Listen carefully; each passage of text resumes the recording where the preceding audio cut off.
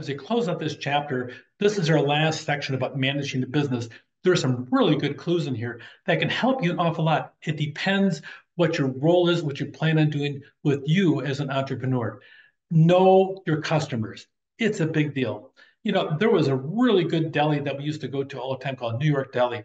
They they would fly in the bread dough from New York. That's where it got their name. And New York's got a special thing about the dough that they make. It just tastes good, and their sandwiches were spectacular the former owner that had that owned the business when we first started going there, he was a bit crazy. I mean, so so literally the first time I walked in, I had a nice white shirt on and a tie. I come to the counter and and and, and the clerk at the counter says, "Oh, it's your first time here." I said, "Oh yeah." She says, "Oh, well, with your sandwich, we always make certain. Do, do you want ketchup or relish in it?" I says, "Well, not really." She says, "Well, the ketchup it goes on like this," and she pointed the ketchup bottle at me and squirted the ketchup right at my white shirt.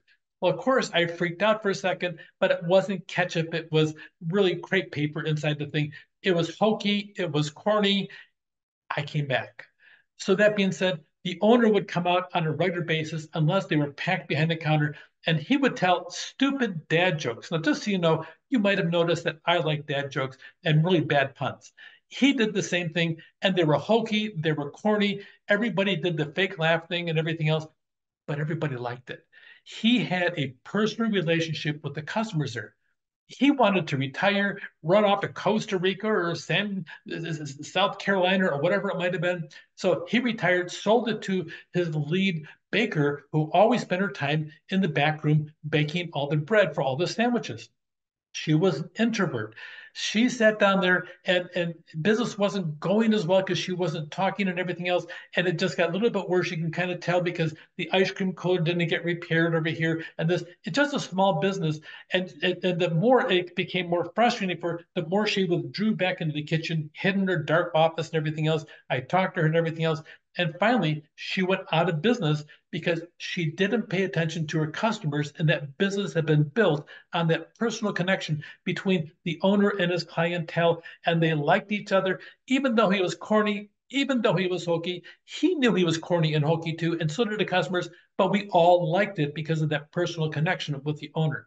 Know your, your client, know your market, know what you want, know what they want, make them happy, offer top quality and fair service at a really good price.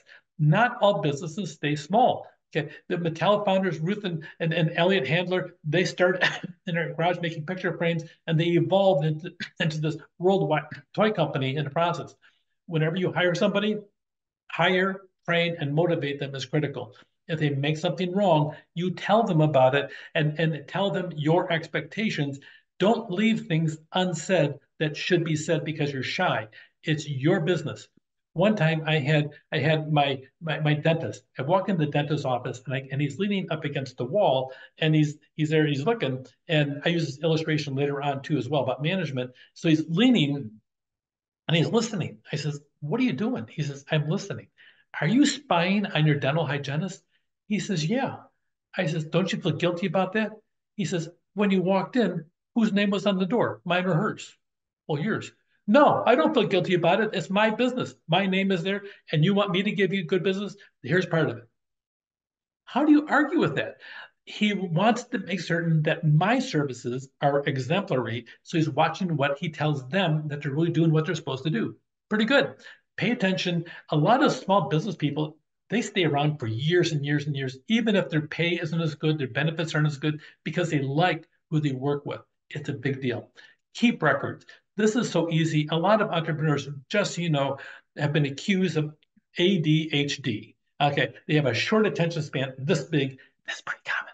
Okay, so that being said, if that's you or it's not, you make certain your accounting is well done. A lot of people get hung up on accounting and they lose their business because they have sloppy record keeping. Business failures by poor accounting practices leads to costly mistakes. It can gobble your, your money up, especially in the crucial time when, when business is bad and you go through a lot of money. We call it money burning in the process. So you burned a lot of money and your cash burn, and so you have a problem. Keep good records. Five mistakes. Too afraid to commit. They hire the wrong people. Don't hire friends. I, I don't think you should ever do that. You hire somebody that does a good job, and you might make excuses for a friend. Don't make excuses. Hire the right people. They don't want to give up control. Sometimes you need to sit down and find somebody that can do something better than you can do it. One time I made a mistake. I had somebody in the business and I was giving them a fabulous deal and everything else, but they would do the cleaning for me. They left me high and dry. And to be honest about it, I got somebody in. I saved, I've saved about one third of what I was paying them, and they're doing a better job. I made an exception because I was blind by friendship in the process. Okay, make certain you put the right people in the right spot. Don't become complacent and accept things for what they are. Always go for the best, and don't fail to use new technology. If new technology is out there, learn it, get it, use it, thrive, and brag on it, and everything else that you're keeping up. It's a big thing. Look for help out there. If it's free, then get it. Legal, tax, accounting, marketing, finance. You know, one time I, I, went through four different people for for marketing. The first one was recommended by the corporate office of a franchise, and so I'm listening to them and everything else, and it was okay. It just didn't do it for me. So I hired somebody local. She did fine for about five months, and then she really crashed and burned on a personal life and everything else. I got to hear all the sob stories and everything else. I didn't care about her sob stories and sorry about the lack of compassion. I wasn't paying her to deal with that. I was paying her to do her work, and she failed to do her work corporate recommended another company and they were another bad fit. They just simply weren't out there. And you know what? A guy that I trusted, my general contractor of all things, trusting a contractor is an odd thing. Just so you know, the construction industry is not known for having competent people. This guy was competent and he was honest. He said, My little brother is not going to start a business. Can, can he do yours relatively cheap? And you know what they say about the aspect of hiring somebody that's, if you want technology, hire somebody, a college kid. I hired a college kid, 19 years old. I've had him ever since. Now his business is not just mine, his business is over 30 other clients out there. He's fabulous at it. He does well at it because of the fact that I looked for somebody in marketing and I got an expert that really knows social media by the time it's all done. A lot of times, if you hire a lawyer, lawyers will suck your money out of your wallet and put it into theirs and drop of a hat. So be careful about using them. Make certain that the scope is limited and you only use them for exactly what you want to. Try not to use their services. If you need legal services, there's several, several online services that can do the same thing. There are a group of people in your county, whether it's Orange County, California, or any county that you're in, they are retired and bored out of their minds and they're really smart and they want to do something the Small Business Administration has a program called SCORE, Senior Corps Retired Executives. Now, I did this when I was going through college. My professor in business, he was part of SCORE, and part of the thing I had to do is I I, I volunteered for extra credit. I want to get an A. Okay, just maybe maybe you do too. Okay, so so I went and I went to an auto parts store and I helped him with this inventory management and had a really cool program in the process. But that being said, there's a lot of people out there that are bored and want to help. The only problem you'll have with them is number one, they're free.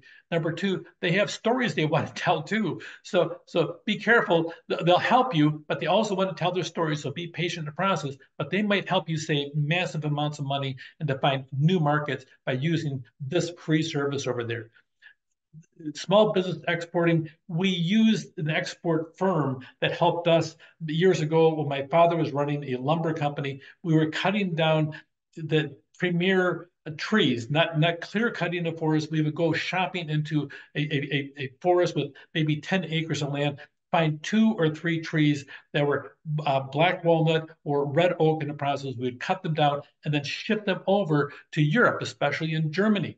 We use an export firm to do that, and they help facilitate that. We made quite a bit of money for a while in that whole process. So pay attention to that technological advances, you don't have it there. It's old fashioned good safety because one of the most hazardous businesses out there is cutting down trees. So we had to be really careful. We ran a tight ship. It worked out really well.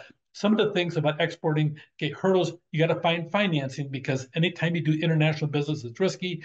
And, and not knowing how to get started, that's why you find the experts and work on cultural differences because there's a lot of them, even with countries that you think would be similar in culture to you, there's differences because of the fact it's a different country and they wear different lenses in their glasses than we have over here. And a lot of time, anytime you do international, it's a lot of paperwork. Keep on top of technology. Okay. people like technology, but sometimes they like the old-fashioned stuff just as well. So, so, so pay attention to your clients as to who you're selling to. Global trade, overseas buyers enjoy dealing with individuals. A lot of people around the world like dealing with Americans. We tend to be a little bit too abrupt possibly for their taste. And I, I agree with that as well. a lot of times, the advantage of small business is a small business. You can ship faster. You can provide, uh, really get a wide, wide variety of suppliers and really get personal service and attention for the global aspect from small businesses. There's so many big companies out there and people are turned off by that. A lot of people want to help the small business person. Know your market, track your financial records, train your employees be clear as to what you want with all of your employees. And if you aren't getting it, tell them, do not let them get by with doing sloppy work because your name is on the door. Use people's talents, especially when you're already paying them. Take care.